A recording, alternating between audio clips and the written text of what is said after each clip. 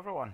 Um, welcome to this session where we're going to discuss some of the stuff that would uh, hopefully enable us to build things, um, increase our velocity, while keeping the security and the safety of the data of our users in the back of our minds.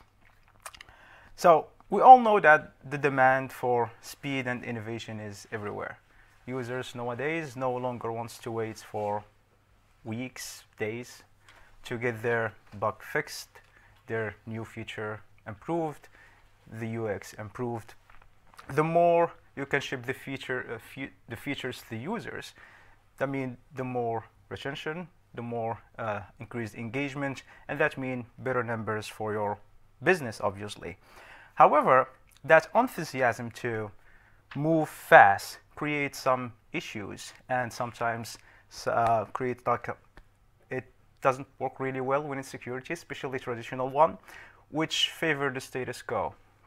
And uh, it this uh, the aim to go fast can create some kind of challenges, like from a security perspective, obviously, like you can skip some processes and inefficient testing and so on and so forth. And we all know about some companies that was were bragging about moving fast, and they hit a roadblock because like they forgot about security. And once the security is hit, uh, the trust between you and the users is actually lost. So we spend a lot of uh, time trying to build that trust back, but it's unfortunately gone.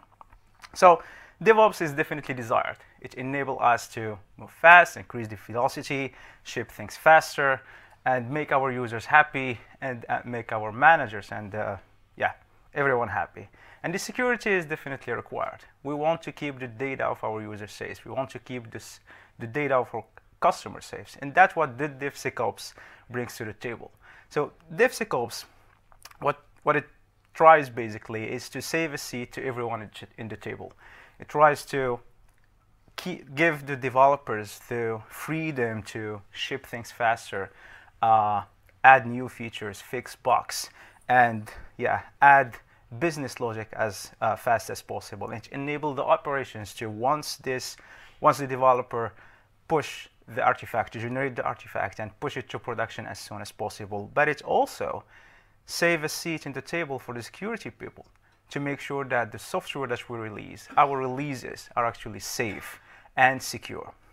So you may you figured out by now what this talk is going to be about. It's going to be basically about Formula One. Uh, anyone? Uh, how much of you watched the Formula One Drive to Survive? Wow, quite a crowd. Cool. So, very briefly, Formula One Drive to Survive is a Netflix documentary slash series that tells the behind the scenes of the Formula One in a yeah a dramatic way. Uh, yeah, very engaged, and it keeps the suspense very high, and it keeps the adrenaline very high. But it's it's really cool. And motorsports in general are very dangerous. Uh, if you have been to a race before, in the badge it says that the motorsport is dangerous. It says so in, in the tickets and the badges and the t-shirts that everyone wears in the pit line. And to make the Formula One safe, it's a multi-layered, multi-generational task that the FIA, which is like the entity behind uh, the Formula One and that oversees it, tries to actually solve. So back to this documentary, while watching The Drive to Survive in the 2020 season, this accident actually happened. Uh, so Romain, which is a driver from the Haas team, uh, tried to overtake and then lost uh, control over the car, and the car instantly uh, hit the barrier, turning it into a fireball, and the car split into two. Now, by any measures, this is a death sentence. This is a fatal accident that probably nobody will get safe from that one. But what happened is actually a miracle happened. Not only he managed to get safe, but he managed to get out of the car by his own. He stayed there for a couple of seconds, but then he managed to get out of the car, saying it's safe, by himself. He had a couple of uh, scratches, but nothing dangerous. And that got me thinking the Formula One people, the engineers there, might be doing a lot of things right to keep the safety of the driver, even of such dramatic and tragic accidents. And that got me to the question what would happen if we started to design our systems, our architecture, our uh, softwares with the same level of devotion as the Formula One people, as the engineers, and everyone that is involved in the motorsports industry, design the cars and the races, um, and yeah, the pit lanes and everything to make sure that uh, the safety of the driver is the number one priority. Now, what I not- noticed throughout the whole uh, documentary is they actually don't uh, mention security a lot. They talk about safety more. And that got me thinking because I'm not a native English speaker. So, what's the difference between the two? So, when I looked in the dictionary, I found that security means the state of being free from danger or threat. Now, in the software industry, we know that when we put a software facing the internet, an application, it's no longer safe. It's no longer free from danger or threat. There are hundreds of millions of things, uh, hundred, hundreds of malicious users that try to attack your system, break your system, and steal the data of your users, or just like make it like a stationary uh, node to attack other systems. However, safety means the condition of being protected from danger, risk, or injury. And this is kind of what we're trying to achieve. We know that our, when, once we put our system in the internet, there are some malicious users, there are some uh, things that will try to break our system.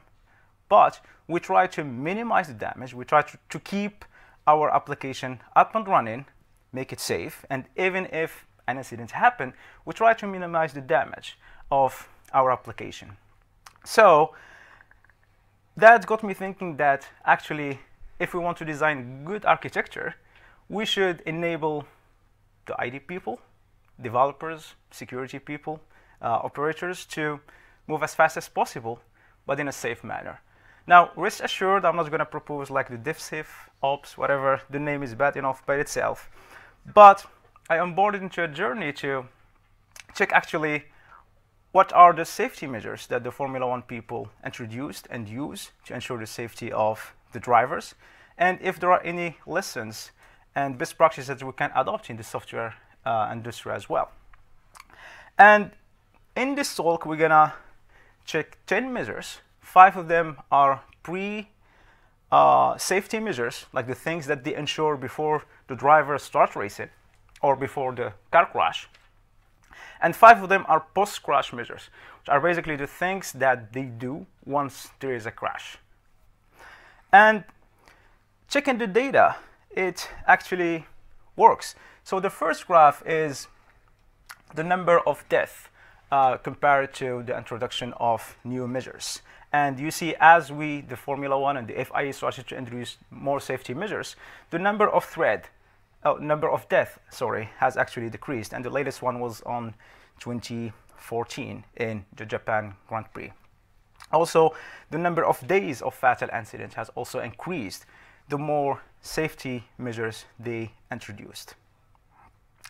And okay, and you could probably thinking that the Formula One people, the people that they actually do everything to ensure the safety of the driver, might get inspired from their IT department. You could actually uh, can be inspired from the car engineers. It turns out not really. So even the people that excels in, in safety and security from uh, a car engineering point of view or a race car engineering point of view struggle to make their system secure. But nevertheless, moving on. So as I mentioned, the first five are what we call pre-crash measures. The things that we do, or the Formula One people do to ensure the safety of the driver before the crash. And the first thing is they have a seat belt that is a six point harness which can be released by the driver by a single hand movement. So the seat belt is, it can't be uh, done or squeezed by the driver. It needs the help from the pit line people. And it's uh, uniquely tailored for each driver to fit his shape and also to ensure a little bit of comfort and a lot of safety during the race. But the driver during the race, if anything happens, it can only click on one button and the harness will be actually released. And this is the equivalent of the push to release or the push to deploy in our industry, right? And that can be achieved through automation. So automation is really important in our uh, software industry. Uh, things like checking vulnerabilities can bring great value if they are automated, so it can free up the security uh, team to look up for uh, other things. We can automate manual things, uh, giving more time to our developers and ops people to and bring more value and more business logic to our developers. Moving on, the second thing they do is stringent dynamic, static and load test to ensure the safety of the drivers. And that means that they are testing the car in the different environments that the car could potentially be racing to during the race day. They test it when it's windy, when it's super hot, when it's uh, when it's raining, different conditions that the car may experience during the race day, and they collect the data and check the security and the safety of the car. And the equivalent of that for us uh, in the IT sector is to have a trusted, repeatable, and most importantly, adversarial CI/CD pipeline. And that means that we are trust we are testing our application uh, in the same conditions it's going to be released and deployed to to uh, our users. And adversarial here is really important since we are have like listening to everyone and making everyone voice listen during the discussion. The developers, the ops, and also the security uh, people, not only after development, but also throughout the whole process of releasing uh, our application. Another thing we can do is actually canary deployment.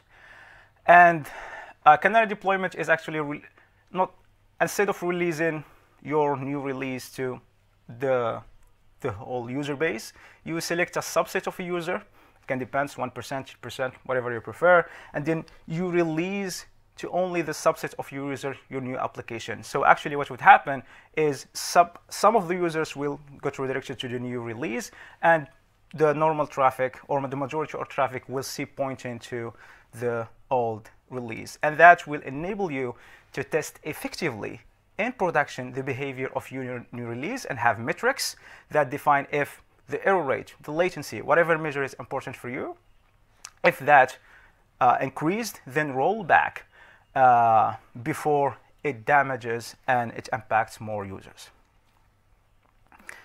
The third thing they have is they build the car around the cockpit. And the cockpit is a deformable crash protection structure. And this is how the cockpit basically looks like. And they build the car around this piece of infrastructure or piece of structure, which sole purpose is actually to protect the driver uh, during the race and during the uh, incident. This is the equivalent of designing for failure. So we, especially developers, no longer should design our application for only functionality, but we should also design our application to be fault tolerant. With fault tolerance obviously in mind, we should design our application, especially if it's distributed systems, whatever architecture is you are using, uh, having fault tolerance in mind, designing for failures regarding database, network, whatever that can break your application. Another thing is mutual TLS, making sure that the traffic circulating inside your cluster is actually uh, encrypted. And there are many so options that we can do that. Uh, sidecar proxy like Envoy or other open source solutions that have been pro probably discussed in this uh, conference. But it is really important, especially in distributed systems, and both the client and the server in the distributed systems are services. So mutual TLS will enable you that no connection will be permitted unless both clients are actually verified, which is really important from a security point of view in a distributed architecture. And the third thing, we, we can adopt like a micro, micro segmented, segmented architecture. And what it means is we are putting the service services responsible of or accessing the data as far away as from the internet as possible and put in some facets and proxy services in front of the internet. So what it means if an attacker manages to get access of one of the service or internet facing services, our architecture will basically deform itself to protect the data of our users in the same manner as uh, the car deforms itself in uh, the cockpit, and that will enable to keep our data uh, safe. The fourth thing is before they race, driver must demonstrate they can get out of the car within five seconds. And they actually test that. If you can't get out of the car under five seconds before the race, goodbye. You cannot race for the day. And this is not only designing for the worst case, this is testing for the worst case. Like imagine if an accident happened and the driver, driver is still like conscious, then he, he should get out of the car as fast as he can. So we're testing this scenario before actually the accident. And the equivalent of that is what we call uh, chaos engineering. We, in our systems, we all have, we all know things about our systems, and we all know the things that we probably don't know well about our system. But what is what scares us the most is the things that we don't know we don't know about our systems and those are the major incident that we have so chaos engineering is actually a practice that enable us to test in productions in production because that's where the fun happen. That's where the user, your users get affected and that's where we have most of your issues. Uh, and then uh, by that you can uncover bit by bit the unknown unknowns and reduce them and check how your system will behave in case of issues. And you can design it, you can start small and grow gradually. You can start by putting hypotheses on how your system actually should behave in case of a failure. Could be latency increase, could be uh, error, uh, error uh, a database outage, a network issue. And design the smallest possible failure to test and design what you would expect your system and then um, do some measurement after that during the experiment and once that's done then you will have uh, you will increase the resiliency and reliability of your system. You know how, how, your system will behave. You can start, as I mentioned, small, like restoring delays or uh, errors, and then you can go wild, uh, removing a whole cluster. Uh, yeah, you can do whatever you want. But yeah, that will enable you to understand your system and understand the resiliency of your system. And the fifth thing is constant monitoring and replacement of the tires. And check out this quick GIF. This is the world record of replacing the tire in a in a Formula One race. It's one second 80. It's one second 82 milliseconds and notice how happy they are, how proud they are. They managed to change the tire in less than two seconds. Compare this to our attitude uh, in the way we deploy our applications. We're bragging uh, sometimes that our application is still alive for sometimes months, sometimes weeks, sometimes days. What would happen if we reduce the lifetime of our application and constantly replace uh, our application? Now, we are all familiar of the pets versus cattle analogy, and that basically means uh, in traditional uh, servers, be bare metal or VMs, we are used to keep our application alive as soon as possible. That means that we, we build personal relationship with our applications, with our servers. We try to keep them alive as soon as uh, as much as we can. We fix them, we patch them, but we try to keep uh, the system up and running. And we can go even beyond that and give them names and so on and so forth. However, with the rise of the cloud, we change it to the way we treat our infrastructure to be more cattle, which means that resources are disposable. Uh, disposable. We spin it up at will and we kill them at will. Now, if we accept this zoomorphic analogy of pets versus cattle, what would happen if we push it a little further to the chickens analogy, given that the maturity, uh, the time to reach maturity for the chicken is much more less uh, than compared to the pet, to the cattle. Sorry, it's days compared to or weeks compared to months for the pet, and that takes us to uh, some other metrics that also matters when it comes to the way we want to uh, monitor our service and the health of our service. The first thing is the reverse uptime, and this actually take an example.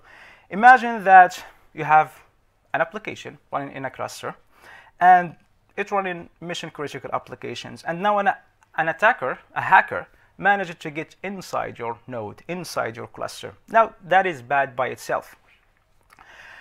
But he managed to uncover itself and use this node as a base to attack other systems or uh, to attack external uh, systems. Now, what would happen if your cluster or your node or your application is, act is actually constantly killing itself and restarting itself? What that means is that the attacker will need to do the same and repeat the same process each and every X amount of time. Let's see one day. So we need to do the same process to get to to try to get inside your cluster because once the application, once the node, once the uh, container, whatever, it's removed, I would need to just repeat the same process. And the thing is, from a security point of view, we can't backdoor a system that is constantly revised and revamped and removed. So from a security point of view, this is actually great, and this is uh, a great way. Now combine that with the base image freshness, which is the base image that you use to deploy Oriole applications. And from a security point of view, once you update the image, and for that patch, it's say an important patch, Linux kernel zero-day uh, security issue, then you know that the longest amount of time that your application would stay vulnerable is actually the reverse uptime. And the smallest and the shortest your reverse uptime is, the, the fastest the base image will be populated to your uh, cluster, and that enable you to fix the vulnerability issue fast. So those were the fast pre-crash measures that they do. Now moving on to the post-crash measures. What happened once the car crashed and is actually burning? So the first thing is the driver can be extricated from the car by lifting out the entire seat. And that means that designing the car in a modular way enable them to, if a crash happened and the driver passed out and they couldn't get the driver out from the car, they lift out the entire seat from the car. Compare that to a normal car, which under stress, and we try to break out the car and we lose some precious minutes, seconds, to save the driver's life. And modularity is really important in the way we uh, architect our applications. Think of how fast you can pull the plug on uh, a key that has been pushed to GitHub and been made uh, publicly available, a certificate that has been leaked, a lot of things. So the more modular your system is, the more that will enable you actually to react in case of incidents. The second thing is the drivers wear a HANS, and HANS stand for hands, head, and neck system that absorbs and redistributes forces that would otherwise hit the driver's skull and neck muscles. And this is how a uh, HANS system look like. And it's basically if uh, a crash happened, instead of the forces go to the uh, driver's head, that would probably break his head or neck muscles. The HANS system will basically take those forces and redistribute it throughout the whole driver's body. And from a software engineering point of view, that is the equivalent of having an elastic architecture. And there are a couple of things that we can adopt to uh, leverage that, starting by having load balancers. If a load increased, we, could, we can have like some load balancers that evenly distribute the traffics throughout our whole node. Having auto scaling uh, that can cope up with the increase of traffic and create additional nodes to handle the traffic. If one, some of the services are starting to act small, we should have like request time thresholds that cut the connection to save uh, resources such as CPU and threads.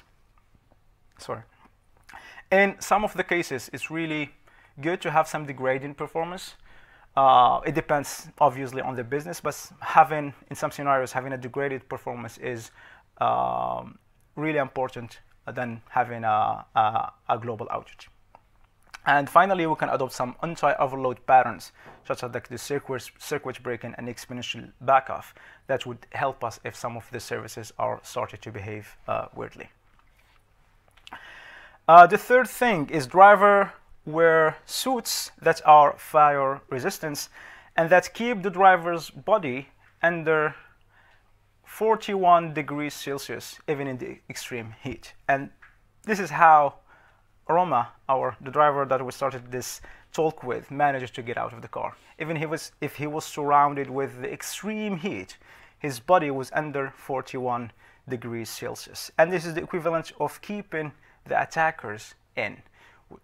Uh, trying to contain the attackers in case, if, even if they manage to get access to our system, we can adopt some practices that will enable us to contain them and keep them and try to uh, keep the data of our users and customers safe. Starting with the least privilege principle, we should give our applications, container, cluster, whatever, the minimum set of access rights and resources that enable it to perform its function. Things like defense in depth and building layers of security, kind of like the onion architecture, that once an attacker manages to sneak in one of the layers, you will find an additional layer that will make his life a little bit harder and give you more time to react and fix uh, the vulnerability. And having a zero trust, especially in during uh, communication between uh, distributed services, uh, and having no uh, implicit trust of the request. So making sure that uh, the request is is what it pre pretended to be and making sure that it's valid before like starting processing the request is also really important. Another thing we can adopt is actually hardware security modules. So imagine that uh, you have an application that stores some users information and you are basically hashing a pass password with, with whatever hashing encrypt systems or algorithm you are using. Now, imagine that an attacker managed to get access to your database, steal the data, and put it into without you knowing it, basically. What he can do is he can like brute force, brute force to break the passwords. And you won't notice until it appears a couple of days later in the black market. Now, hardware security modules enable us to uh, have keys that with, with which we're gonna encrypt the password. And that means that the attacker, if he can manage, and the, those keys are really hard to break, they're unbreakable, and gonna spend uh, more than his life trying to break them. And that means that the attacker can no, no longer steal the data and put it away. He, that means that he will stay inside our cluster to at least get the keys to decrypt our passwords and that will give you trying to keep him in that will give you some additional time to hopefully uh, uh, get be aware that there is some attack happening on your cluster and react properly. The fourth thing is they have fire suppression system that can be activated by the driver externally or by the race, the race marshal. And what triggers me here is this distribution of roles if, the, if a crash happened and the driver is still conscious, then he can uh, activate this system by himself. If the driver passes away and the, the safety team and the rescue team can get into the car, they can activate it by themselves. Now, imagine as our friend Romain, the car breaks into two and there is a fireball. So Romain, if Romain passed away and there is the safety team cannot get in time, then the race marshal can activate it remotely. And in software engineering, especially in the way we define policies between our uh, systems, we need, we need to define communication policies and make sure that no uh, application can call other application if it's not allowed to. Having access control and defining role-based access can help to give access to only the people that need to access the resource. And finally, they have data records. And the Formula One people are crazy about collecting data. They collect data about everything. Uh, so they have data records that keep the speed and deceleration forces so doctors know the severity of an impact. So the doctors, if an accident happened, they already know how severe the accident was and they know how probably what they would probably expect and they know how to react to uh, such accident. And no system should go to production without monitoring uh, in place.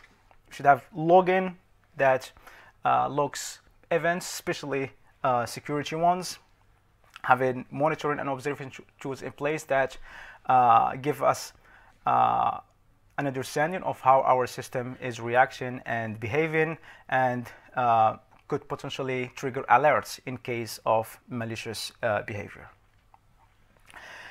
And those were the 10 safety measures and their comparison uh, uh, in the software industry. But it's all about finding the right balance. It's a trade-off between the cost, what you are trying to achieve, and the security as well. And that is the philosophy that the Formula One people adopts as well. Uh, and they have two examples for that. The first one is refueling. So the refueling was, so before what you were doing is actually they will start the race with, because the more fuel you have in your car, the more slow your car is in the fewer lap, in the, in the first laps. What they were doing is they have, they start the car with a little bit less fuel and then they kept refueling the car with each and every uh, lap. And it was banned in 2009 because of potential risks. As you can see in the picture, drivers was actually uh, burning and of the cost. BBC reported that the cost of maintaining and refueling the car and all the people that handled the system is costs the teams over one million dollar per year. So it was removed from both a security perspective and also from a cost perspective. And the second example is this is how the drivers in, the, in a Formula One car look like. This is not comfortable at all, and they feel every bounce in the car. Um, but it's a trade-off to gain speed. Uh, so it's not comfortable, but it's enabled them to uh, gain speed and design the car with the aerodynamics to be uh, as fast as it could. And I want to end this presentation with some numbers from uh, the cost of data breach report by the IBM security folks. In 2021, they found that the average business cost of a cyber attack is more than 4 million. But the number that scares me most, scares me most is it takes over 200, 287 days to detect the breach. That's a long time. Um, so I hope that throughout this presentation, we have now, we have now some uh, good understanding of how we can move fast while keeping our system resilient and our data of our customers and users safe. Uh, some resources that helped me to build this presentation. And with that, I want to thank you if you have any questions.